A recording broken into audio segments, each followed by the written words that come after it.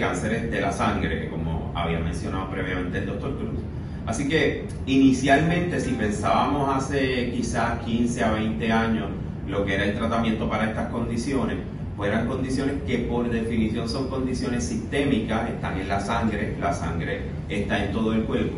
Así que el armamentario que nosotros teníamos para tratar estas condiciones era primordialmente eh, basado en quimioterapias, ¿verdad?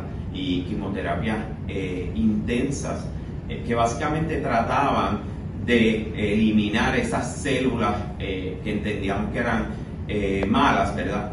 Y a la vez pues teníamos ciertos efectos secundarios de esas terapias, pues porque células buenas también se iban en ese proceso.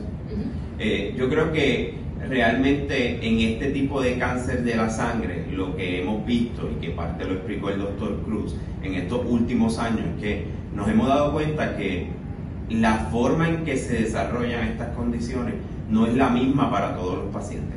Así que hoy día estamos tratando estos pacientes de una forma mucho más personalizada. El tratamiento se ha ido definiendo de acuerdo a la forma en que desarrollan los factores de riesgo que tienen estos pacientes, qué riesgo genético tienen estos pacientes. Así que cada vez tenemos mayores eh, armamentos para tratar estas condiciones. Bien importante saber que no todos los pacientes, también como eh, ya habló previamente la doctora Torres, reciben el mismo tratamiento.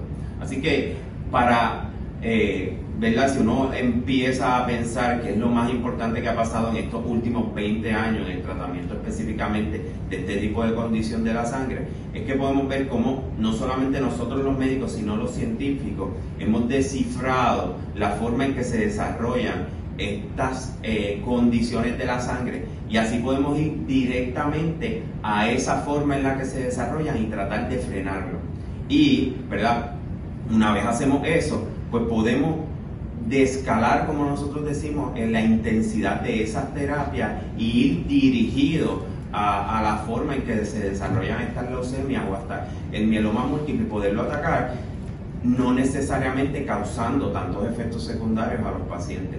Así que ciertamente ha habido una explosión de tratamientos para estas condiciones y podemos llegar a tratar pacientes que quizás hace 20 años no podíamos tratar porque los efectos secundarios de estas terapias cada vez son menores, van, van, van más dirigidos a esas células malas y podemos tener una mejor calidad de vida para estos pacientes.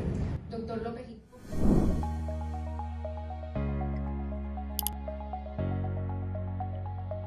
Para conocer más casos como este, conéctate con lo más relevante para médicos, pacientes y profesionales de la salud en www.medicinaysaludpublica.com.